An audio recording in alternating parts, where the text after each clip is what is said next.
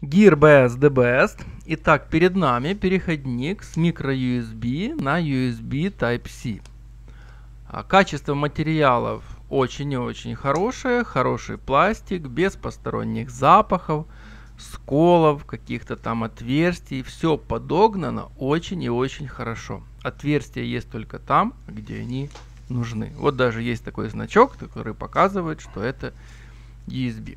А в сравнении с оригинальным, оригинальный у нас с левой стороны. Оригинальный более белого цвета, а наш более темного цвета. Но по качеству сборки оригинальный не превышает наш.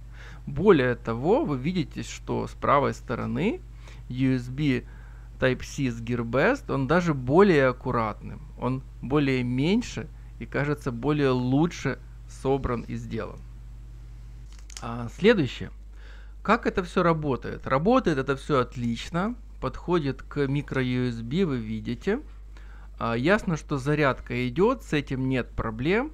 Это я даже не буду показывать. Э, Нас интересует, как же это работает для передачи данных и можно ли это использовать для передачи данных. Итак, подключаем и ждем, что же у нас будет. Подключаем мы Nexus 5X.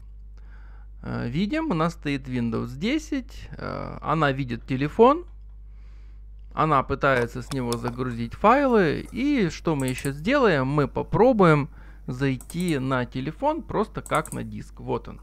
И без проблем заходим, все работает, все отлично.